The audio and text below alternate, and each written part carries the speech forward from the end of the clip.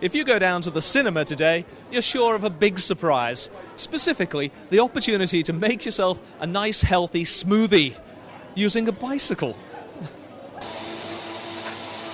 It's just one of the attractions at Live Life 2008.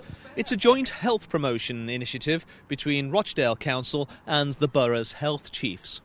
Coronation Street's Anthony Cotton dropped into the launch to share a few of his healthy lifestyle secrets.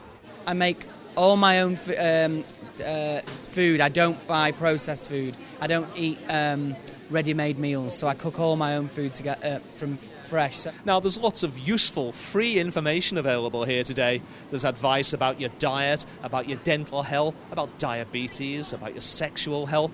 But you might be wondering why is all this happening in the middle of the afternoon matinee? One of the reasons we've chosen the Odeon is because we think it's a really accessible place.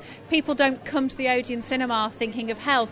People come here thinking of having a good time. And what we're saying is you can build health into having a good time as well. We've had about 350 people through the doors today, which we think is fantastic.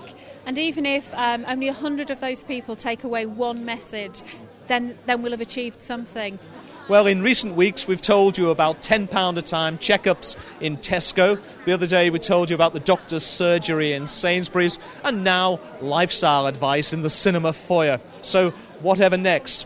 Whatever it is, you can bet that Channel M will be there to tell you about it.